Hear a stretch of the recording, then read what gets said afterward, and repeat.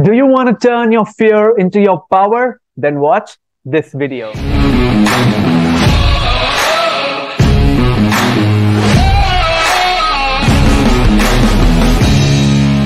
I am 19 and 12 years ago, this was my first stage performance. Out of 60 children on stage, I was the only one who started crying.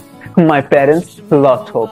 They thought that I was not meant for the stage and that I had developed stage fear. Every time I went up, my legs would shiver. I ran back from the stage smoke. The spotlight used to prick my nerves. I always used to look at anchors and performers on television and think, why can't I be that confident and spontaneous as them? But as rightly said, do not compare your chapter 1 to someone else's chapter 20. I began by hosting small programs in my school and community. I went on stage, I made mistakes, I blanked out sometimes, but I never gave up. Today, as a freelancer, I'm anchoring national level competitions with international organizations, startups, top notch magazines. My friends are also developing interest in this field, looking at me perform. Well, I am not saying that I'm perfect. There is a long road in front of me. No matter how hard I press the accelerator, my car will always take some time to go from 0 to 100.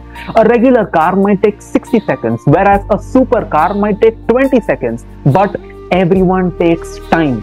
The journey of two fears from forget everything and run to face everything and rise. All it takes is an ignition to the car of your life.